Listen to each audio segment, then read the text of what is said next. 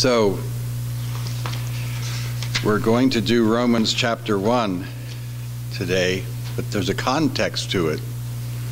And I last time I spoke, I asked everybody to write out a question that you would like to ask Jesus if you had a chance to one-on-one sit with him and ask him any question you wanted and I I received at least 16 questions and um, I was impressed that the answers to most of the questions come from Romans. So we're going to do the book of Romans, um, Lord willing, at least. Um, we're going to try to do it. My goal is to try to make it meaningful and applicable to those who are the youngest in our midst who have the capacity to reason and understand to some minimal degree. So I'm not hoping to be overly exegetical in terms of teaching the fine doctrines of Romans. Uh, it's my opinion, and I believe I've heard some others say it as well. Romans is probably the most foundational epistle regarding our faith that is recorded, and it has a substantial amount of, in, of information about all kinds of topics. And hence, when I read all the questions people had, I recognized most of the answers could easily be found in the book of Romans in some way, shape, or form. But as we go through Romans, the, the, the theme of the book of Romans is going to be asking the question, Are you a Christian? And you say, Are you going to ask that question every week? And I hope, I hope to ask some aspect of that question every week because it's imperative that you reflect on yourself and your life and your own responses in this life to the things that uh, are around you to be responded to. So on the screen, I'm, I hopefully will leave that on the screen for weeks to come, but there's a, there's a verse in 2 Corinthians 13:5 that simply says this, examine yourselves to see if you be in the faith. Prove your own selves. Know ye not your own selves that how that Christ is in you, except you be reprobate? And so here's something that we have a problem with as humans, and that's criticizing other people. It's a lot of fun to criticize other people. Two people can kind of chummy up next to each other and talk and chummy up and point out people's faults, and it's a really common human trait, human activity. But it's demonic from the beginning and it's demonic in the end. And so in chapter 10 of 2 Corinthians, excuse me, chapter 13 of 2 Corinthians, Paul turns the table. He's been responding to his critics throughout the whole book. It's the most masterly uh, response to critics that I've ever seen written in Scripture. It's impacted my life enormously. But he turns the table in chapter 13 and says, How about you? Examine yourself. Are you in the faith? And then he asks, he, he kind of gives this really interesting snapshot at the end. Know you not your own selves how that Jesus Christ is in you, except ye be reprobates. And how many of you can answer the question, what's a reprobate? Anybody know what the question, what is a reprobate? Well, I can see we're all chicken little. What's reprobate? Well, the word reprobate at its first ring always sounds like something that is um, really bad. Somebody that's like really, really bad. But in reality, the fruit of a reprobate is really bad. But what a reprobate is, it's a very interesting term. It's a monetary term. It's a term used in, in fiduciary matters back in the days when money was weighed out Instead of pulling out little paper dollar bills saying, here's some money, you actually had to bring money by weight and you had to pay for something by the weight of the money.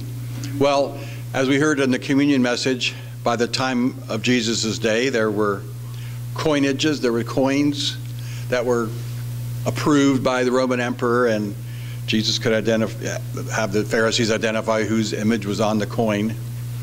But still, money was measured by weight. And so if you had a coin, it was often called a shekel. Well, a shekel is a measure of weight. And a reprobate coin was a shekel that somebody, when nobody was looking, took their little file in the silversmith shop and nobody's looking, right? And they just really shave off a little fine bit of the silver dust and get it into a pile. And then they would have a coin that was reprobate. It was lacking that which made it the full measure of a coin.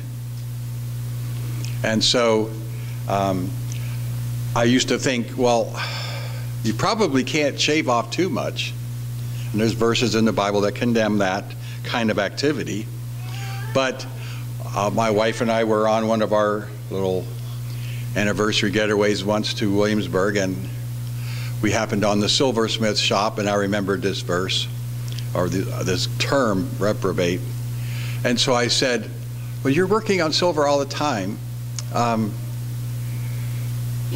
do you have silver dust? And I, and I noticed that the desk or the, the workbench of the silversmith was a waffle top desk. Now, by waffle top, I mean instead of a flat surface that's smooth, it had boards. They were they were thick boards, maybe one inch boards, um, maybe like a bunch of two by fours turned on their side, and but it was waffled together so you could work on something but all the dust would fall into the cracks and be collected. So I asked a smart aleck question, which I like to do. I said, So, is that dust worth much? And I was astonished by the answer of the silversmith. Oh, yes, that dust is the most important part of our business because we receive more profit from selling the dust than we do from selling all of the jewelry that we make out of silver. And I was astonished. So here's the deal a reprobate coin is lacking the totality of what makes it an authentic shekel or coin by weight. And Paul's asking a question here about you examining yourself in the faith. He says, Examine yourselves whether you're in the faith prove your own selves.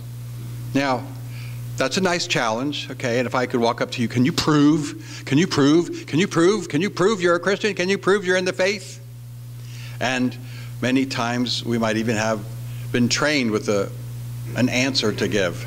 But when he goes on, he says, Don't you know yourselves that Jesus Christ is in you? Except you be reprobate. So I want to ask this morning are you a Christian or are you a reprobate Christian? A Christian who claims to be a Christian, a Christian who participates in Christian activities with other Christians, a, a Christian who wants to be known by others as a Christian, but in fact, they're lacking that essence of quality that actually makes them a Christian in reality. They're missing Christ in them. And we know from Scripture that when we say Christ in you, we're speaking of the Holy Spirit. Jesus went back to heaven, the Holy Spirit came back down, and now those who are Christians have Christ in them. Now, here's the issue. I want parents to pay close attention. I am not up here today trying to create all kinds of doubt and worry and fear in your children as to whether they're a Christian in some sort of false sense of the way. Neither am I trying to hold myself up as the one who's able to do the measuring as to whether you're a Christian or not. I don't believe that we can do that. Paul says the Lord knows them that are his. So when we engage in Christian conversation, we have to simply preach what the scripture says. If you name the name of Christ, then depart from iniquity. And if you're struggling with departing from iniquity, then you have to ask a question Am I a Christian or am I reprobate? So, a reprobate Christian is someone who claims to be a Christian, but who lacks the indwelling spirit. if we looked at this entire concept fully, we would discover that the only evidence that you are a Christian at all is that you have the Holy Spirit.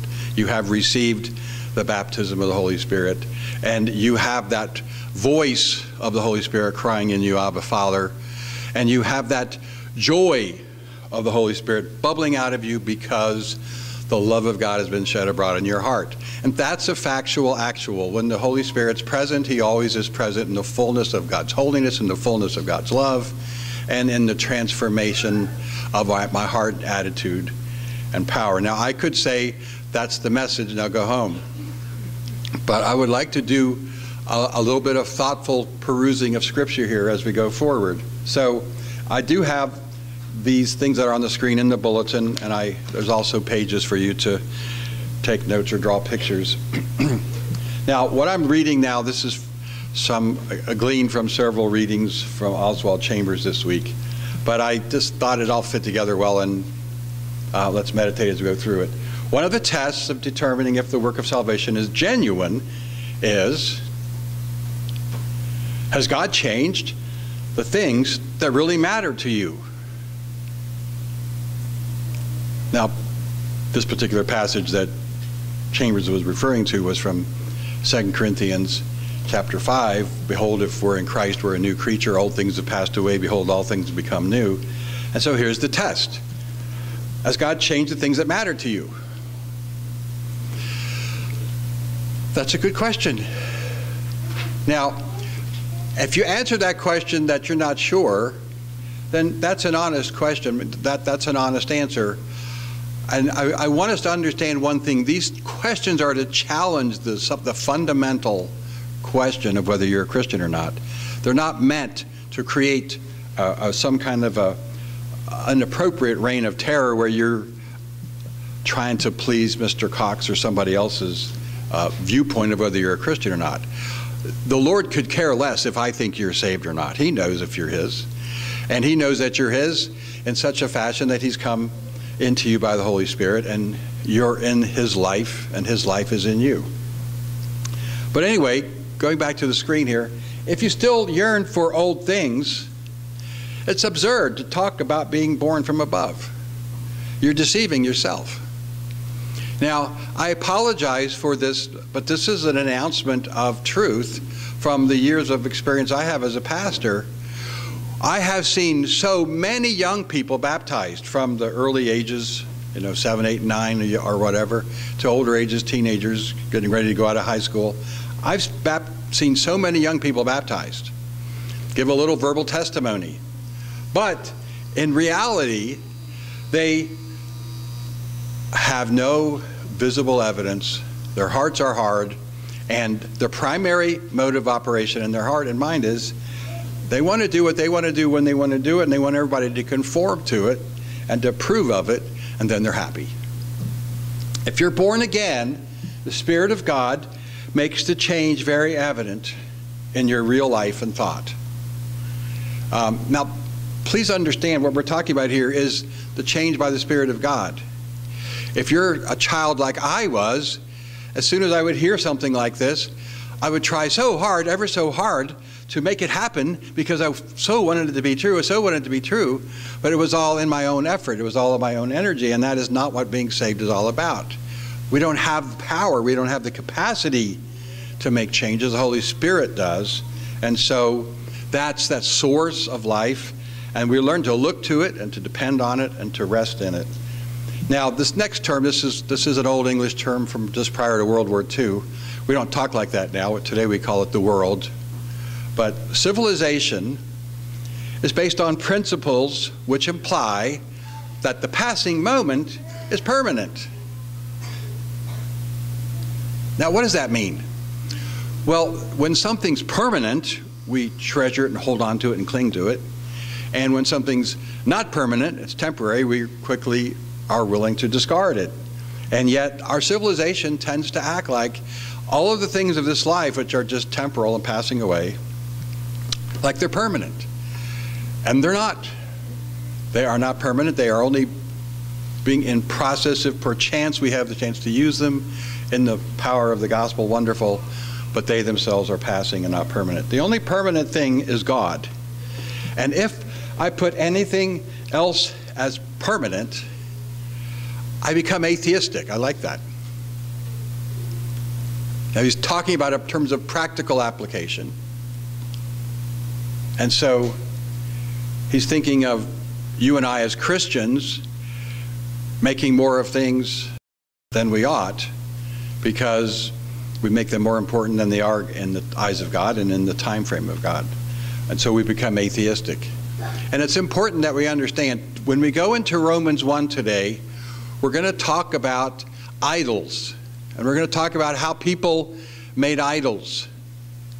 And they substituted idols for God. And you're going to look at me and you're going to say, But Mr. Cox, we don't have idols come to our home and look. You'll not find a statue on a pedestal, and you won't see us praying to it or worshiping it or, or putting little bits of food for that God to eat. We're not idolaters, but you are. As long as you maintain your own personal interests and ambitions, you cannot be completely aligned or identified with God's interest. Now, that's hard to hear, but it's the truth. What do you really, really, really, really, really want with your life? What, what do you think would really, really, really make you happy?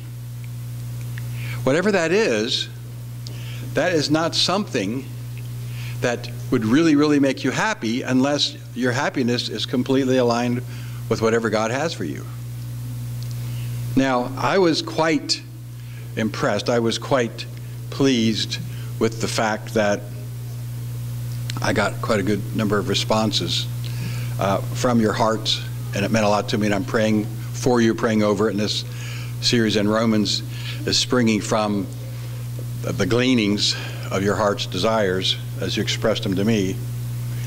But listen to this next phrase. This can only be accomplished by giving up all your personal plans once and for all. What does that mean? How do I do that? Giving up all my personal plans once and for all? What does it mean? One of the, one of the questions seemed a little bit puzzling. I said, well, if I'm supposed to surrender everything, how do I obey? As if to under, as if to imagine that surrendering everything meant to just empty yourself and just be sitting there like a doofus, waiting for something to move you other than yourself. But surrender of our plans, once and for all, is an exchange. I want my plans to be set aside here, and I want God's plans. And that's hard. And we can, and if we'll think about it, if we have any testimony at all, each of us will have a testimony of something that was very near and dear to us that we desired and wanted and hoped for and pursued and planned on. And then God got a hold of us. And He had us put away. Uh, the, the, you've probably heard this little story. Maybe I'll say it really quickly in passing. Um, before I came to Christ, I had reached this of, point of crisis like, what in the world is my life's purpose? What am I here for? What am I supposed to be doing? And I had no clue. And I remember some friend of mine in high school had said, Well, I think the purpose of life is to be happy. Well, that sounded a little bit like, Well, yeah, shouldn't be the purpose of life to be unhappy. So I asked myself a question in this unhappy state of mine Well, what really makes me happy? What really makes me happy? And what really made me happy at that time in my life was playing basketball. I loved playing basketball and I decided, well, that's it. I'm going to dedicate my life to basketball, and I made a I made a decision to become a professional basketball player, and my whole world was going to shape around that. Going to be a basketball player, and I did a lot of things that were real practical. The most important thing is, back in those days, it's a huge huge expense. I spent ninety dollars on a pair of tennis shoes, so that I would have good quality shoes to play basketball in. Anyway, I got born again. And the most amazing thing happened. The preacher didn't tell me. People who knew me didn't tell me. I'm actually living by myself at this time. The Holy Spirit told me, uh, you know those basketball shoes you bought? You know that basketball career you have in mind? That's not what I have for you. I want you to put that away. And it was the Holy Spirit talking to me. And you know what I did? I literally picked up my shoes and I had a closet that had a deep, dark back recess that you could lose stuff in. And I went to the farthest back part of the closet and stuck my shoes there because I wanted to follow Jesus. Once and for all, allowing God to direct his purpose in your world. Your understanding of your ways must be surrendered also because they are now the ways of the Lord. That's a hard one. Understanding of my ways. I, I, I thought that we were supposed to work hard and be diligent, and then we'd get rewarded, and we get this and that and the other thing, and success would come out of our hard work. Well, our understanding has to be surrendered. It's not going to happen according to your understanding.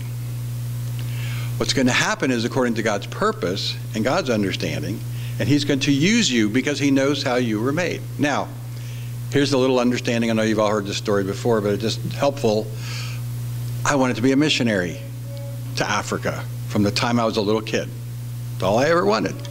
And I understood, in terms of my understanding, that it's good to be a missionary, it's good to have a sacrificial life, and it's good to go help the dying pygmies in Africa come to know Jesus. So that was my motive. However,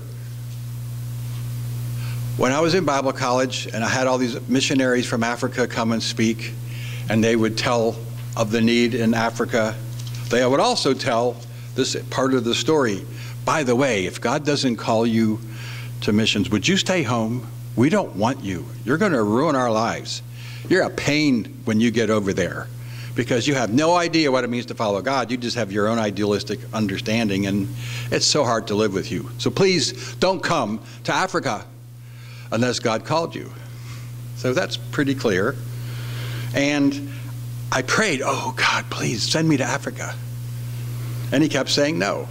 And actually, it wasn't until a couple years ago that I began to realize that I was never qualified or equipped to be a missionary to Africa. Had I ever gone, it would have been a catastrophe. And all the missionaries would have hated me. And I would have ruined everybody's life. And I'm so glad I didn't go. But I must learn that the purpose of my life belongs to God and not me. That's a hard lesson.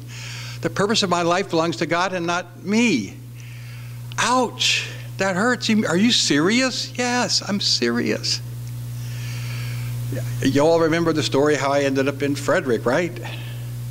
I just so much wanted to serve the Lord. I so much wanted to serve the Lord. I just said, please send me somewhere. And I kept trying for this and that, and the Lord kept closing doors. And I'm finally screaming at God literally in the stairwell Lord, I'll show you. I'm going to serve you whether you like it or not. Scream that in the stairwell and have it echo in your ears for a couple hours. It'll work on you.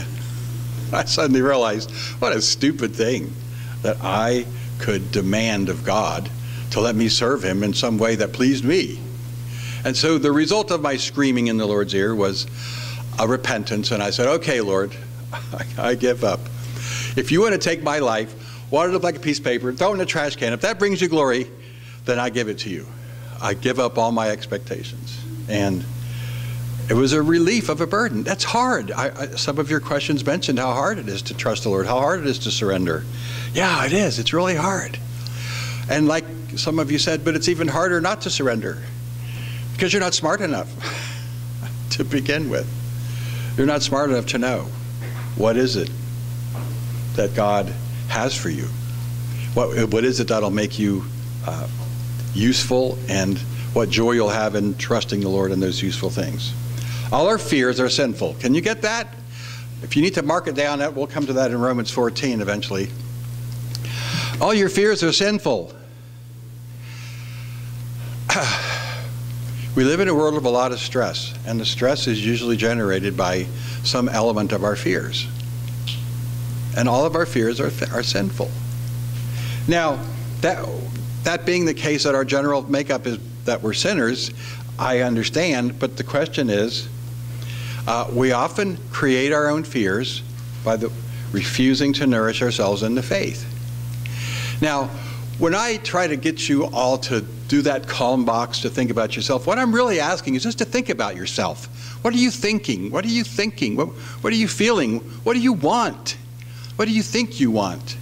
Because the reality is, faith always has to do with focusing on God's purpose, per- focusing on God's plan for you, and not your understanding of God's purpose or your understanding of God's plan. And so it is very easy to nourish fear instead of faith because we're holding dear to our little desires. I want to, before I die, I want to do this, I want to do that. How can anyone who is identified with Jesus Christ suffer from fear and doubt? Now, that's a pretty strong, typical Oswald Chambers statement, but think about it. If you're identified with Christ, how can you suffer from fear and doubt? Now, let me explain. The temptation to fear is our human nature. It's, you're going to have temptations to fear. The question is are you going to pay attention when you see that fear rising, and are you going to pause, and are you going to deal with it? Are you going to deal with that fear and replace it with faith? Are you going to come to that place of your most terrible fear and say, Lord, if I die, I die. I'm going to trust my life, I'm going to trust my case, just like Queen Esther, and I'm going to let you have control over my life. And if you choose to put me down, I receive it. Because your plans are always best. That's the tough part, and that's the part of victory, though, in every part. We are identified with Christ. And so we surrender to his good purpose. Now, sometimes we get to see how God uses us in somebody else's life.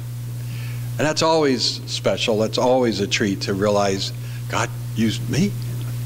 But many, many, many, many times, and in fact, in the bigger picture, most of the time, you'll never really understand how God has used you until we get to heaven.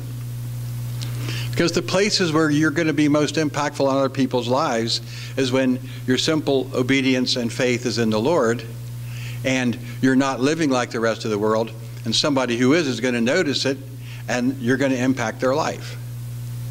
You may or you may not get to see the fruit of it. Our lives should be an, I, I love this part, the closing part.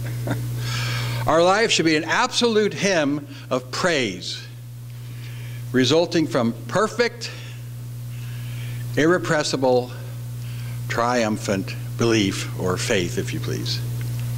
That's the nature of our life. That's what pleases God. Without faith, it's impossible to please Him. But when you're walking in faith, it's a wonderful hymn of praise to Him as we trust Him in every moment of every hour. Okay, so now we're going to. Okay, here's the memory verse. I might change this from week to week, but from Jeremiah 2. Uh, now, as we read this verse, I want you to think of a little bit of the context, okay? Children of Israel, they'd been in the promised land now for many, many years and they've walked in idolatry for the majority of that time. And this is God asking them a question. For my people have committed two evils. They've forsaken me, the fountain of living water, and hewn out for themselves cisterns, broken cisterns, that can hold no water. Now, there is a graphic picture of our understanding versus God's understanding. And when we're living by our own understanding, we're trying to save our water in these little cisterns of our making because we think that's what's really going to matter. And we don't realize that there's this hole in the bottom of our cistern that's going to keep leaking off that, that water. Can a maid forget her ornaments?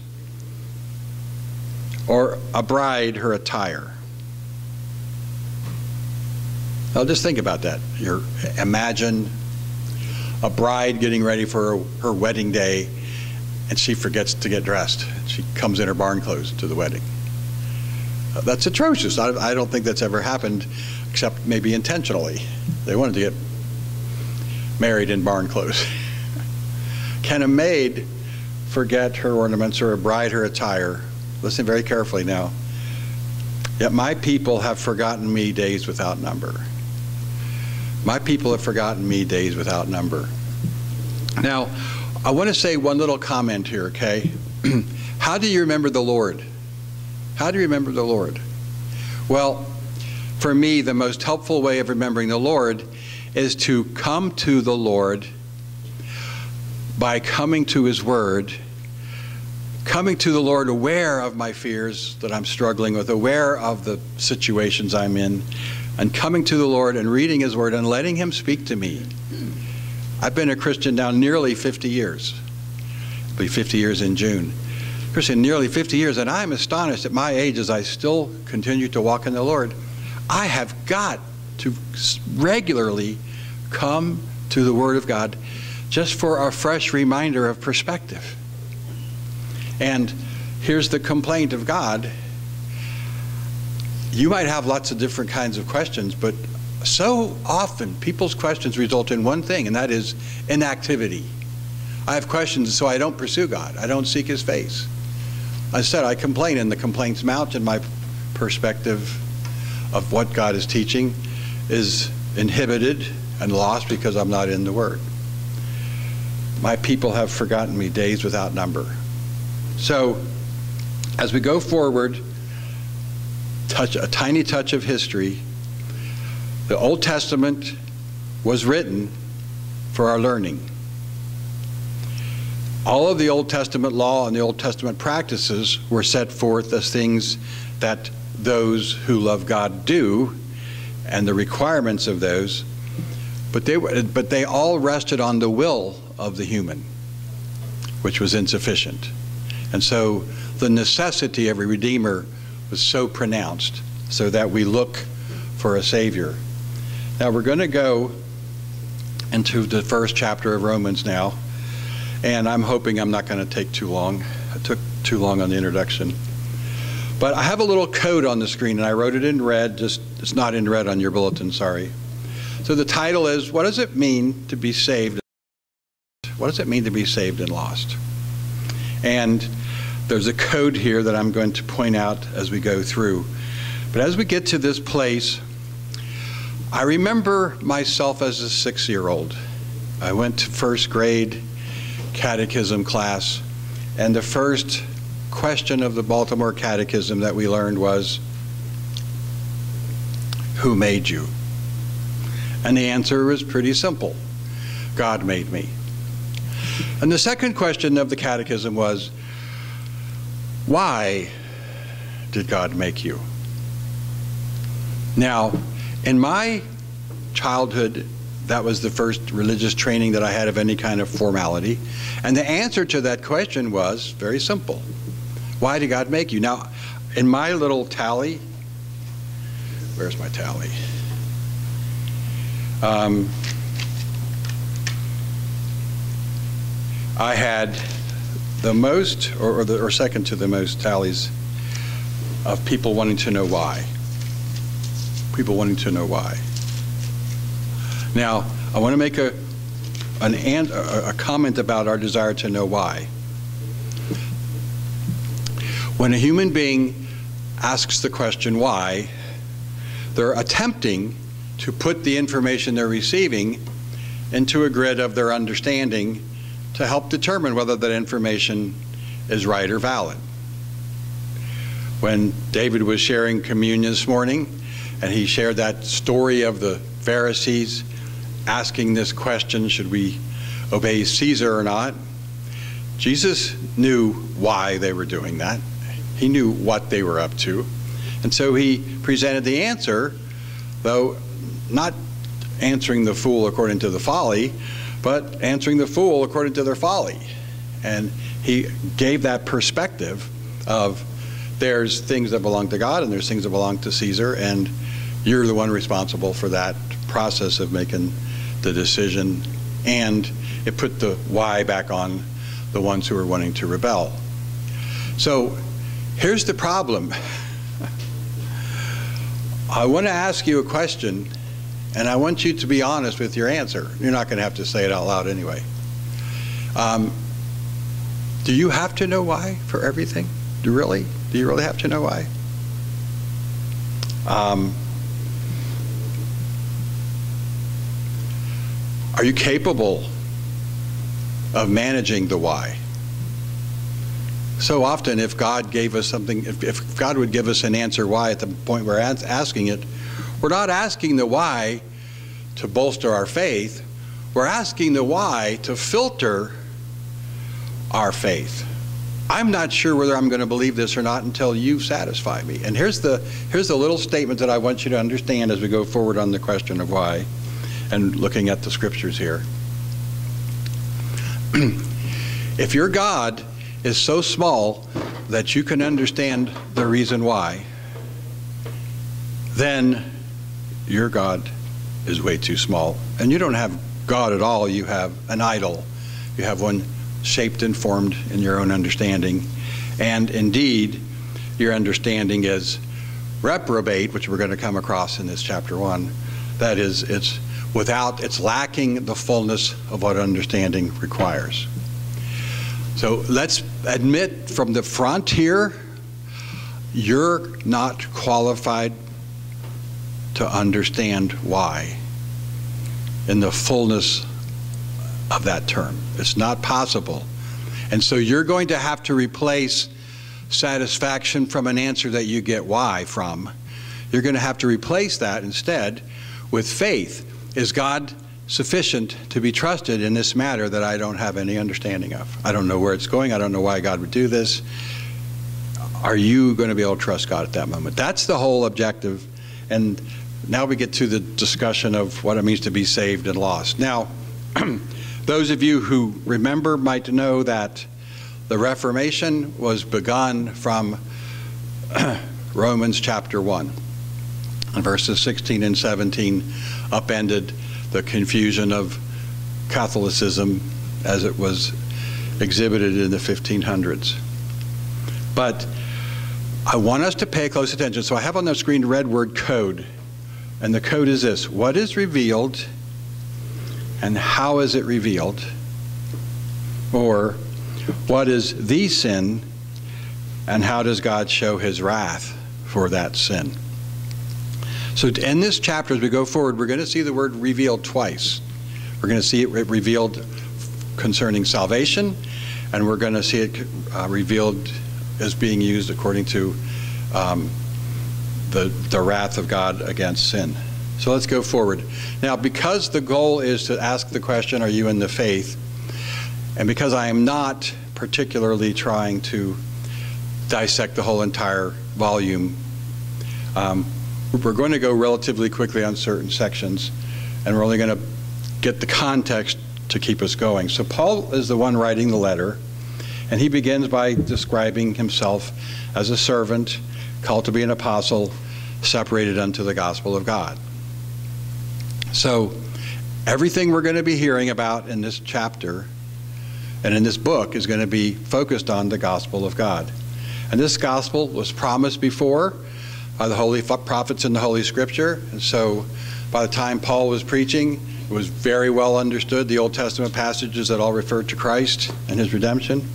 And everything in the Old Testament, the Holy Scriptures, concerned Christ, concerning his Son, Jesus Christ, our Lord, who was made of the seed of David according to the flesh. So, verse 4 is imperative for us to understand. It's one of those questions you'll never get to answer why in terms of your human understanding, but it is a clear what. Jesus Christ was declared to be the Son of God with power according to the Spirit of holiness by the resurrection of the dead. And so we have one fact of evidence that Paul introduces to explain everything that I'm telling you about this gospel has been codified and set down as absolute proof because Jesus Christ rose from the dead. And you really have to understand that everything relating to the gospel centers around and hinges upon that point. Christ rose from the dead, and the scriptures teach elsewhere he was the first fruits. And all those who believe in Christ, they also are going to be risen from the dead unto eternal life.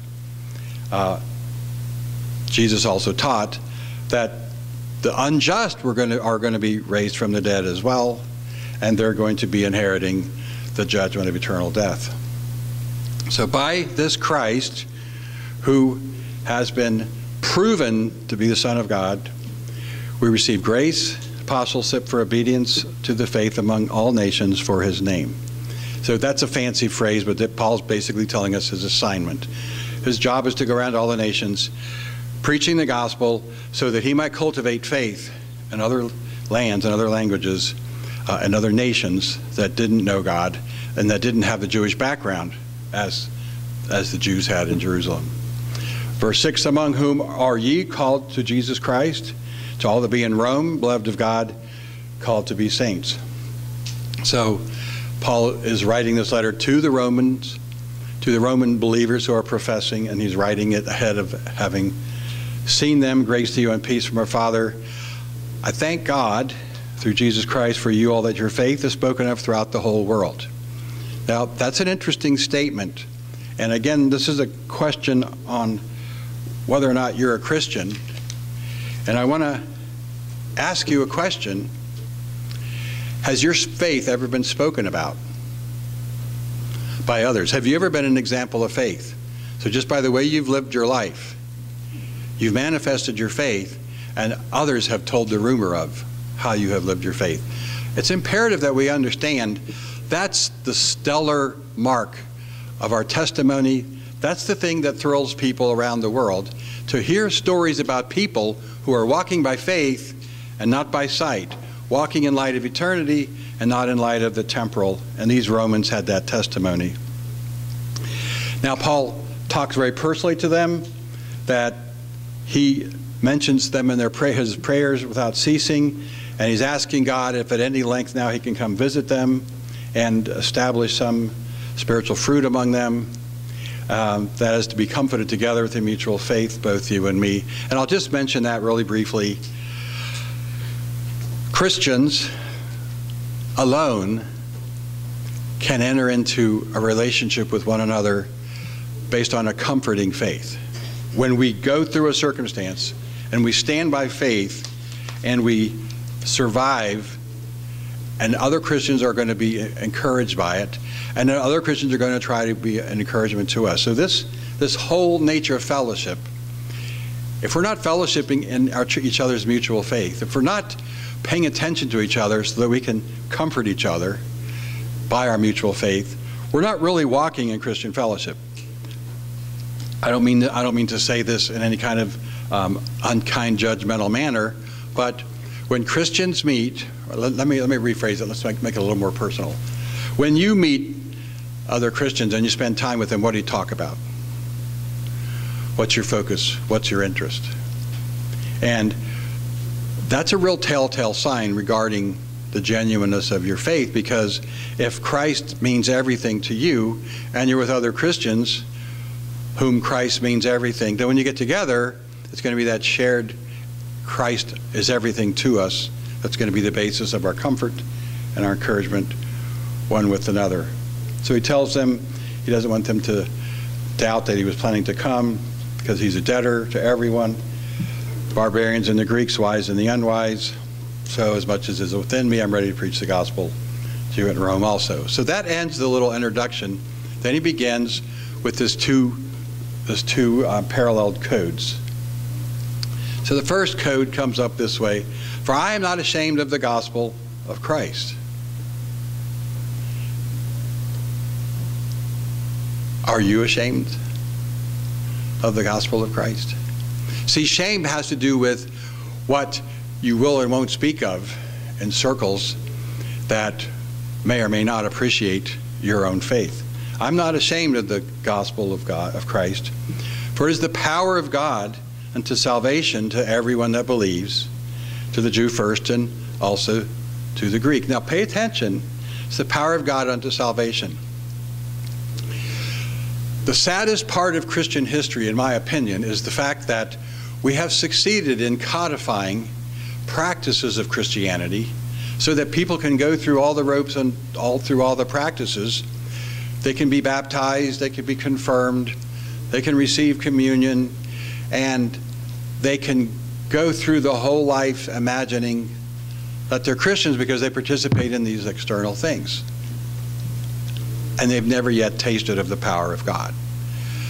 It's the power of God that's in the gospel, and the power of God changes you from the person that you are, which hopefully we can talk about in frank terms, the person that you are is a sinner. You're a sinful person. Your basic nature is a sinful person.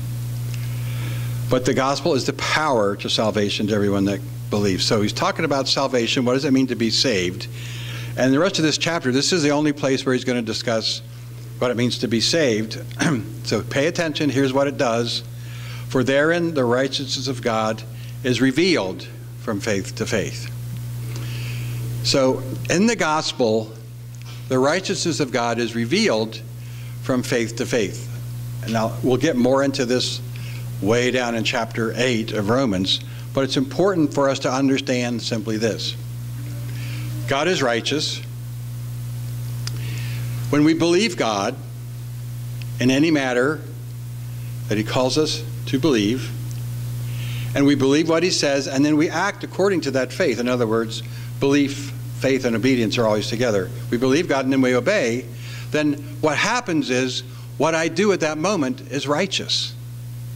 And you and I can do righteous things. We can do righteous things if what we do springs from the faith that we have in God, from clearly what is revealed in His Word. And God calls us righteous at that point. And so, in this discussion of righteousness by faith, we're, we're going to learn in this book a little more what that means. But here's at the beginning, it's just an utter declaration. God gives us power to be righteous. So the righteousness of God is revealed. What is being revealed? The righteousness of God from faith to faith. So here's what happens I can tell you about the righteousness of God, and in many respects, you could say that's what the Old Testament law did. It's told all about what the righteousness of the law is. But in terms of experiencing the righteousness of God, I cannot do that by my own will, by my own effort, by my own plan. I need this power of God to do what's righteous. So at every moment, at every moment, when you believe God in a matter and you obey accordingly, that faith that you have and your obedience, that becomes a righteous act of God. It might be imperfect to some degree, and there might be occasions where that imperfection is shown in other areas of your life for sure.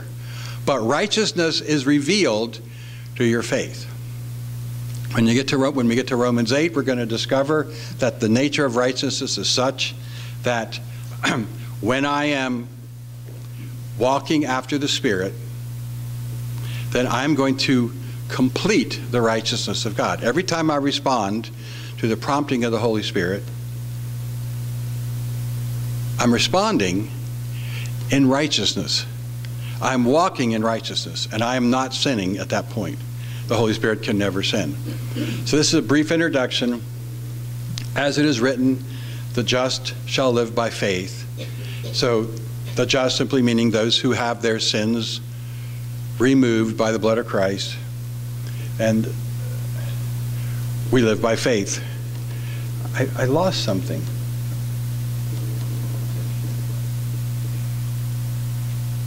There's a fragment missing.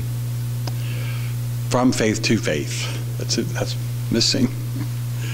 Let me find it. Pardon? Is it on there? Oh, I'm sorry. It's, it's highlighted and I didn't say thank you. It's on the screen. Righteousness God is revealed. I focus on the revealed from faith to faith. From faith to faith. So here I am. I do faith. That's righteousness revealed. I do my own thing. That's sin revealed. I walk by faith. That's righteousness revealed. So the Christian life is a life where I'm learning to walk by faith, from faith to faith. Everything that I need to be is a step of faith. And when we get to Romans 14, you're going to discover if you didn't do it by faith, I don't care what you did. I have no bother, whatever you did. If you didn't do it by faith, it's sin. You don't get any credit for it, you get judgment for it. Now, if righteousness is revealed by faith, how is God's wrath revealed? Now, I have to ask the question how is God's wrath? Because the righteousness revealed by faith was plain, but the wrath of God is revealed, and it's not revealed yet. It's revealed against something. Pay attention. The wrath of God is revealed from heaven against all ungodliness and unrighteousness of men who hold the truth in unrighteousness. So now we're going to see the flip side of faith, we're going to see unrighteousness.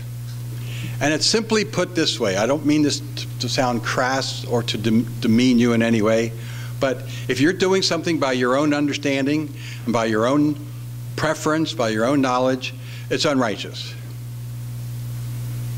You, you don't have permission to live life as you please. It was not true if your mother told you when you were little, wait till you get to be an adult and then you can do what you want. Sorry, it's not true. You're never going to get that permission. so, the wrath of God is revealed against all unrighteousness of men who hold the truth in unrighteousness. Now, pay attention because this isn't the revelation yet. This is where you have to catch the bigger picture of Romans 1. Because that which may be known of God is manifest in them, for God has showed it to them. Now, I want you to be thoughtful for a moment. You are responsible for everything God shows you. You are responsible for everything that God shows you. You're to be paying attention when God is showing you whatever He chooses to show you, and you're to respond. That which can be known of God is manifest them, for God showed it to them. How does God show it to them? For the invisible things of God from the creation of the world are clearly seen, being understood by the things that are made. Even his eternal power and his Godhead, so they were without excuse. Now, one of the dear questions that I received was about what happens to babies. And anytime you understand what uh, most Christians teach in the Bible about original sin, the Bible teaches, and we'll, we'll see this more distinctively in Romans 5, but the Bible teaches distinctively that we're all born in Adam's sin. And the proof that we're all born in Adam's sin is that many times an infant will die before they've ever had a chance to do right or wrong, before they've ever have a, had a chance to believe or to rebel. So the evidence that we're born in sin is found in the evidence of death. Now, what happens to that child? What happens to that child? Now, the answer to that question, if I just gave you my opinion, you might be satisfied. But I hope that we can construct it together out of Scripture because the answer is simply found in that last phrase, there without excuse. What makes you inexcusable? What can be known about God clearly made known, being revealed by the things that were made. The invisible things of God from the creation of the world are clearly seen, being understood by the things that are made. Even his eternal power and his Godhead. So here's something that I can say with, with a, um, clarity on the one hand, and you're going to still have questions on the other. At what age are you without excuse? At what age are you without excuse? I was raised in a church that said a certain age, that you're not accountable until a certain age, and they chose that certain age simply because it seemed like a fair thing. Um, you're without excuse. now, I want you to be thoughtful and recognize that being thoughtful is a part of being a creature. It's part of your obligation to God. You have to be thoughtful. You need to think on the things that's going on.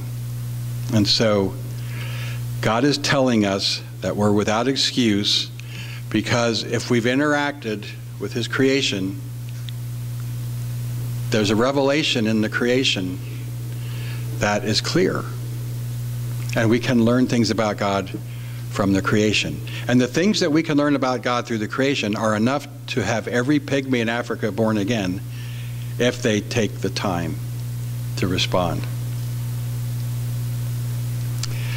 Two things the creation teaches us. If you do any amount, I mean, first of all, you don't have to take in the whole creation in fact, it's impossible to take the whole creation. But how about just taking in the creation nearest by you and the world that you live in. There's two things that stand out God's eternal power and his Godhead. Now, eternal power is an interesting word. And this is a word that builds your faith. That builds your faith. Eternal power. There's nothing that God can't do. There are some times in the scripture you can find those stories where God tells people through like the angel to Mary, for nothing is impossible with God. Nothing is impossible with God. He has eternal power. He can do all things. And we can gather that from the creation as we just observe how things function and how the power of God has caused all things to function. And so God is all powerful. He's all powerful. Now, the second thing about God that, this, that the creation teaches us very carefully listen, you're without excuse. So, I've been a teacher for many years. And as a teacher, I give out homework assignments. And then I collect the homework on the next class. And so many times there's been occasions where uh, I forgot my homework. I forgot my homework. well, I want you to understand something. You're a creature of God and you have a homework assignment. You're to find God through the creation that He's made and you're to respond to Him. You're without excuse if you don't recognize that God's all powerful and then the Godhead. What is Godhead? His eternal power and Godhead. That little word there is a fancy word. It simply means He is Lord of all, King of kings, Lord of lords, above, above and over all. He, he is and all things come from him and all things return to him. He's the one that has fullness of understanding, fullness of purpose, and my job is simply to recognize, oh, God's in charge. Now, here's the problem that you and I have as we're born into this world with Adam's sin nature. I want us to think just momentarily. I don't have any idea what ever really would have happened if Adam and Eve hadn't sinned, and that's because God chose to make the world anyway in the foreknowledge that that man would sin. So, in God's foreknowledge, He knew what man would do, and He instead chose to, instead of preventing us from coming into existence, He chose to bring us into this world so we might know salvation by His love and mercy. But that, that aspect of God's authority stands out in years of my life. He's the one in charge. I have an obligation to pursue this God. Now, I've had students tell me before, Mr. Cox, you didn't give us a homework assignment. And there are many, many people that could say, in, in their own imagination and their own understanding, well, God, I didn't get your homework assignment. I, I, didn't, I didn't see it. And here's the point. I want you to understand something. You and I are will, what? The number one question that we asked was why? why? I think that's astonishing that the number one question we ask is why, because that reveals to us there's a little part of us where we would like to know what's going on. Is this all there is? Am I part of a bigger plan? If there's a bigger plan, who's in charge? But the question is, Will you take the time to think about it? Listen very carefully. This is a hard passage to apply to you, and I want to apply it to you. And so there's a little phrase because when they knew God, they glorified him not as God. Now, when is that point at which you can know God and have a departure from him? When is that point? And I'm going to have to say, God knows I'm not going to be able to say, oh, age this or age that. God knows. And I'm, and I'm positive that it's at different ages for different people. But there is a time frame that God knows in your life when your capacity to ask questions surfaces. And the question is, what did you do with that? What did you do with that? Uh, there's tons and tons of things that we as parents do and try to do for our children to help them understand their need to be responsive and responsible to God. But still, in the very end, God holds you accountable. Um, I used to worry as a child, which is one of the reasons why I wanted to be a missionary to Africa. I used to worry, well, how will the poor pygmies in Africa ever, ever get saved if somebody doesn't tell them about Jesus? And of course, the Lord has set forth Jesus to be the Savior of the world. And He's sent forth missionaries to do that. When we get to Romans 10, we're going to visit this question again. But we're going to recognize that this verse here in Romans 10 has something very much in common. Because in talking about the preachers and evangelists being sent in Romans 10, this is what it concludes with I say verily, have they not heard? Have they not heard? And the answer from Psalm 19 yes, verily, their sound has gone forth in all the world to the uttermost parts of the earth. And there's not a voice or language where the sound is not heard. And he's referring right back here to this recognition that God reveals himself in the creation. And the question is, how do you respond? Now, if I forgive my foolishness, if I said to you, by the way, I've got this great field trip we're going to go on, and we're going to go to uh, an amusement park for a whole month, and all we're going to do is play games and eat food and have a good time, and do just have fun, fun, fun, fun. Would any of you want to come? I'm sure for at least half a second, many of us would like to come.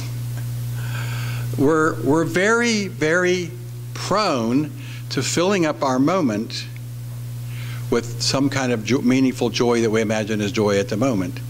And that's where our problem lies because we would rather do something fun than to think about the purpose of life and why we're here and why things are so difficult and why do people have to die, etc., etc. So, listen very carefully to your response. That's lacking. The pygmies in Africa won't go, won't go to hell because they never heard about Jesus. The pygmies in Africa are going to go to hell because when they knew God, they didn't glorify Him as God, and neither were they thankful. But instead, they became vain in their imaginations, and their foolish heart was darkened. Let's, let's think about that for a moment. This is that picture of the wrath of God being revealed from heaven.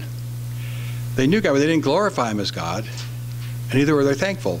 So there's two attributes of God His eternal power and His Godhead. And I should have outlined this with underlining here. And there's two responses to that God glorifying Him as God and being thankful. Now, just think about that for just one moment. If you have an almighty, eternal, powerful God who's in charge of everything and overall, what do I have? I have somebody that I can look to with the most significant admiration and respect that we'd call worship. Oh God, what an incredible world you have made. I can't even imagine how you did it. Now, when I was a child in ninth grade, and I thought about this, and I had just begun a little bit of science learning for the first time, I came across the thought, and I haven't been dissuaded from it yet, but the harder we study science, and the more mysteries we unfold as we go deeper and deeper, the one thing that will happen is we'll cover, we'll keep discovering new horizons of how things work that are so beyond our understanding. When I took chemistry and biology in high school, we learned something called the, the systems, the body systems of the human body. When I began teaching biology, there was this more advanced thing called biochemistry, where it was taking life forms and how life forms interacted with the chemicals and the, the incredible compounds and life forms that were created by God. And that was just a touch. And now today, they, they know so much more of what's going on inside the cell, and it's a phenomenal thing, but we haven't touched the end of it. Imagine knowledge of the big spectrum out in the universe. We can't touch the end of the understanding of the universe. It's so far beyond our capacity. But go the reverse way, inward into the cell. Now, I'm taking uh, the science book's word for it, but it was a Bob Jones science book, so I believe it. Want it to be true, if it probably was true. But it said, I want to, to compare our solar system, think about the distance of the planets from the sun. And just try to think of it spatially. Now, if you could reduce it to a model on paper, reduce it to a model on paper, now I want you to look at the, pers the, the, pers the, percentage, the, the, per the perspective difference. Go inside a cell where the nucleus and all of the uh, different um, orbitings are occurring. I guess it wasn't a cell, it was an atom. And the, the space between the core of the, of the atom and the neutrons that are spinning, I mean the electrons that are spinning around, the space between that is greater in a percentage basis than the distance between the, the farthest planet and our sun just by percentage. Now you say, well, what does that mean? Well, it's mean ratio. So if you blew up one atom to be the size of our universe, the distance between the sun and the electrons would be far greater than the distance between the sun. Same way with a ball bearing. Did you know what a ball bearing is? What do you use ball bearings for? Very, very hard, very, very smooth. They're smooth for the purpose of rolling friction to prevent things from melting down with heat. Um, if you take a ball bearing and blow it up to the size of the Earth, its mountains would be taller than the world, and the valleys would be deeper than the world. That's just perspective. So anyway, we can never come to the end of this amazing understanding of who God is. And science is a form of worship, worshiping God, and the whole thing that it brings us to is awe and wonder. It's just an amazing thing. But it calls for giving God glory. And not only that, it calls for giving Him thanks. Now, giving God glory worships His power. Excuse me, I'm sorry, I, did that, I got that backwards. Giving God glory worships His Godhead. He is God. But giving thanks to God worships his, his sovereignty in terms of His purpose. He's able to do, and I find myself in a situation and here's the situation look at your life today. Fine, go ahead. Write all your grumblings and complaints of what you don't like and what you wish wasn't. Write them all down, write them all down. Fine. But today, the question is Are you giving God thanks for your life? Are you thanking Him? I didn't say, Are you understanding why you're here and what you're doing and how come it's taking so long or whatever? The simple question is, are you giving him thanks? give God thanks, give God glory, and you find yourself at that place where you can walk by faith in your circumstances. So you can receive your circumstances instead of rebel against them. If a mighty, powerful authority in heaven gave me my circumstances, I can trust him in them and I can call on his name and seek his help. So look what happens. But instead of calling on God, instead of giving worship and calling on God, professing themselves to be wise, they became fools. Pay attention to the pygmies in Africa.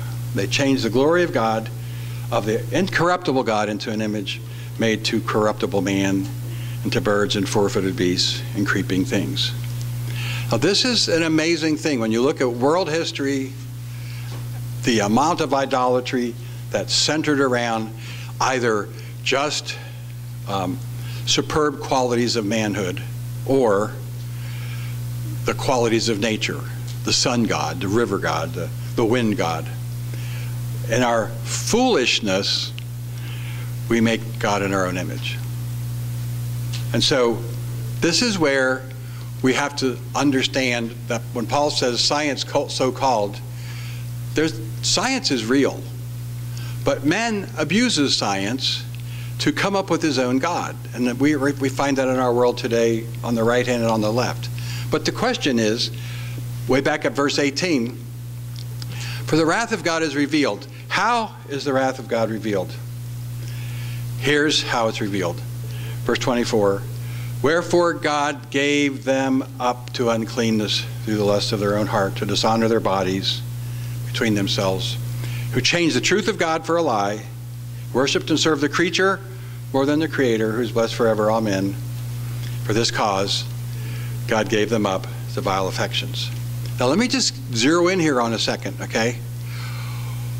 The revelation of God's wrath is found in the debauchery of our will and the decisions that we make and how we live our lives. That's where the revelation is.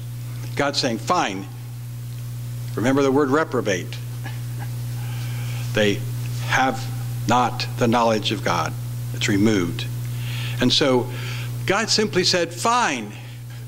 You want to live in a world where frogs are your gods?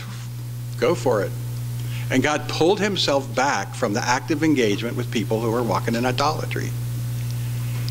And the fruit of our own understanding is this paralyzing, powerful force of sin sweeping over us on the right hand and on the left. Now, in my opinion from Romans 1, the crown jewel of that revelation appears to be homosexuality. And so he describes women changing their natural use, which is against nature, and likewise men leaving the natural use of women, men working in themselves. But listen very carefully receiving in themselves the recompense of their error, which was fitting. So the wrath of God is revealed and the result of how I live my life. If I trust God, if I believe God, if I'm pursuing God, then He's going to be the centerpiece of my life. And the consequence of that interaction with God is going to be I'm walking by faith, I'm going to be calling on His name, and I'm going to be walking in righteousness.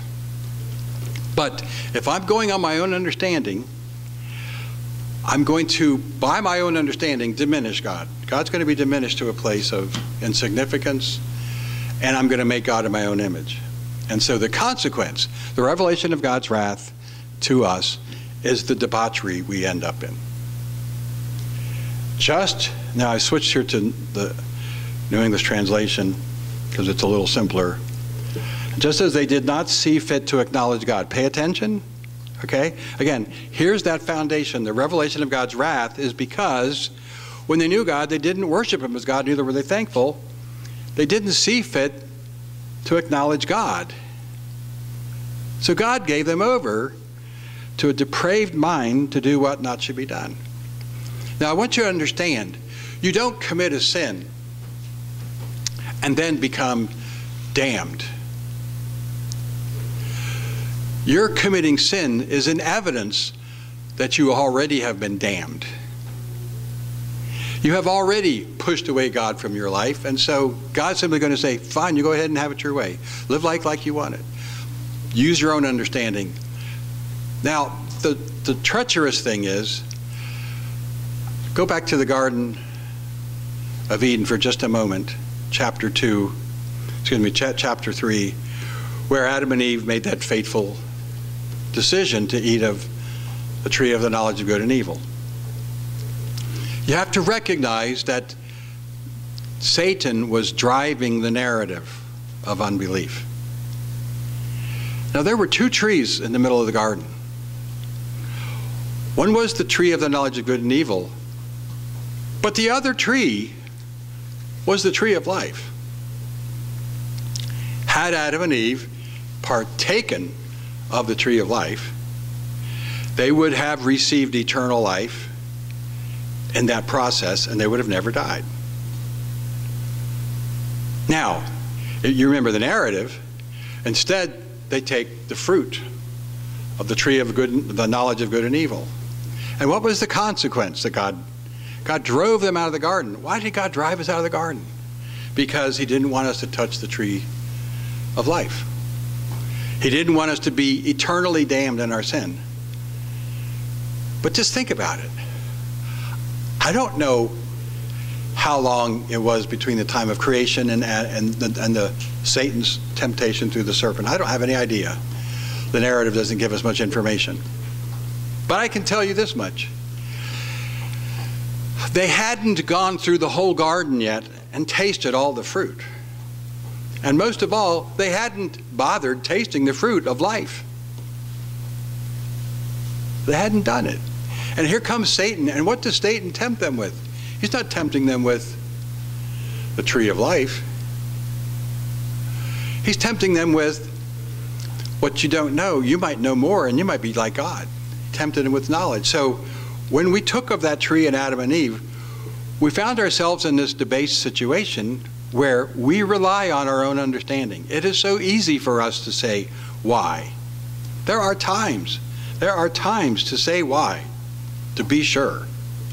But the times that we say why should never be in the circumstance where we recognize this moment calls for my faith, not for my understanding. Now, I've heard the most amazing story years ago about this um, Amen brother who was an evangelist, and I forget his name, and the story was told in a rather charming way. But there was a, a relatively ignorant um, preacher who loved going from church to church, doing revival meetings, and he loved to tell stories about trusting God, God answering prayer, and etc. And one time he comes to a small town, and I think they called him Amen Charlie because he was always saying Amen. And and there was a bunch of young boys, which are bound to be a part of any church uh, until they come to Christ, that they spent all their time laughing and mocking and making fun of. And they thought, oh, Amen, brother, Amen. So after the morning service, the boys got together and said, He's always praising God, he's always thanking God, he's always saying amen. Let's see how good he can do if we take away his distributor cap. So he was driving a car, obviously, and a distributor cap is the device that distributes electrical charge to all the cylinders so you can fire and run. So he was the last one to leave the church. The boys had taken the distributor out and pulled away and hid it. And Amen Charlie comes out and can't get his car started. And so the boys are watching because they thought it would be so fun to mock him. So he lays his hand on his car. He says, Oh, God, I don't have any idea why this car won't start. But you're God, you know how to do it. Can you fix it and make it run? That's all he prayed, and the boys heard him. And he gets, he gets back in and starts the motor and drives away. The boys were at the next town listening to a sermon with a little different attitude the next time. But the picture is simply this we're not called to punch through life with our understanding. Our understanding isn't going to be what wins the day. If you understand 10 things, do you know how many more things there are than 10? And what about 100 or 1,000 or 10,000? The point isn't you're saved by your understanding. You're saved by faith in the God who not only understands it all, but He made it all. So when you and I refuse to give God glory, to give Him thanks in our circumstance, we're on the very edge of being shoved into a reprobate lifestyle, meaning where we live without the knowledge of God, and we're totally under the, domin- the, domin- the domineering narrative that Satan offers. And we keep thinking we know best, we keep thinking we're doing right, but all of this, Satan, he gets you to do something for one purpose what? To destroy you, not to save you, not to help you. so, Let's look at this list. i am really over, I apologize.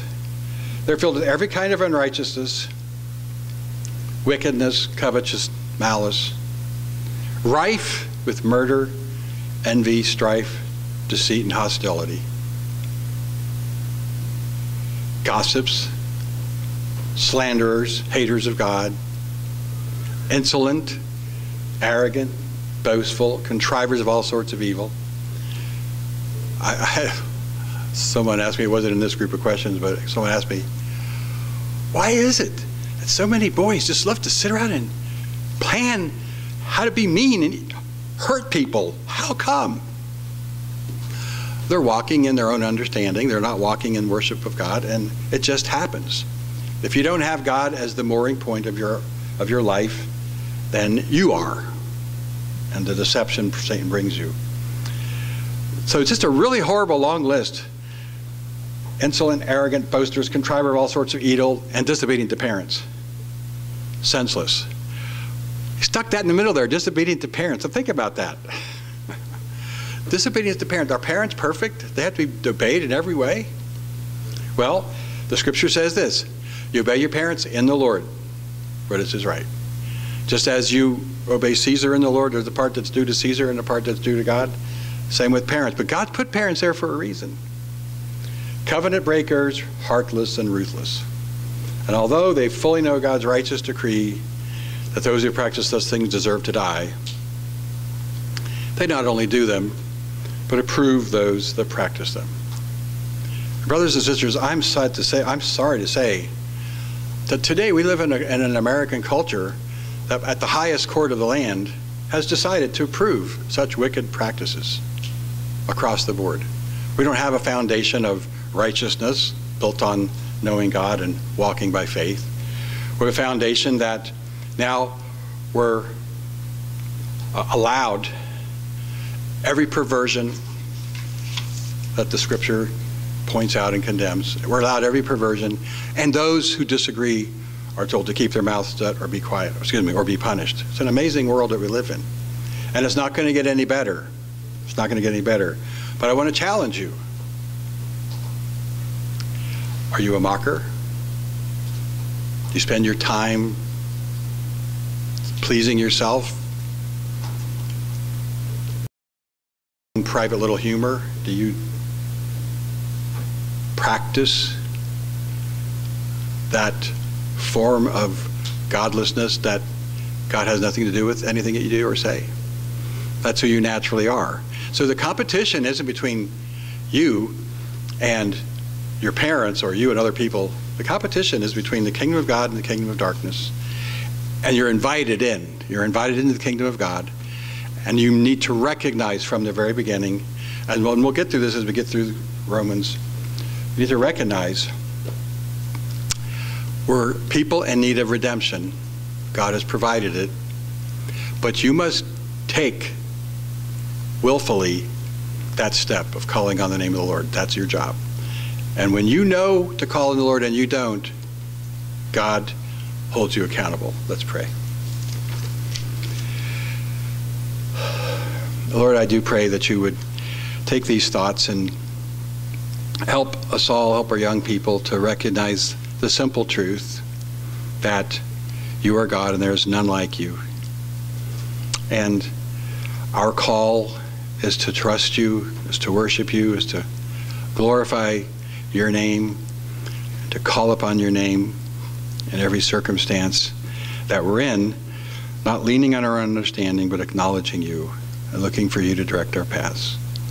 Pray that the clarity of the gospel and the transformation of Christ in us, the hope of glory, might be the fruit of the time we spend here in the Word. We ask in Jesus' name. Amen.